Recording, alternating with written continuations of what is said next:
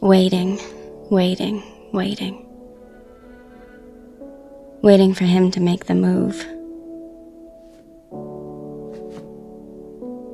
Doesn't he know? He's gotta be my salvation.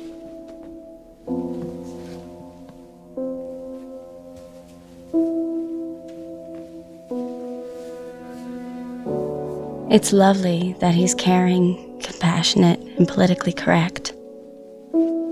But I need him to kiss me right now.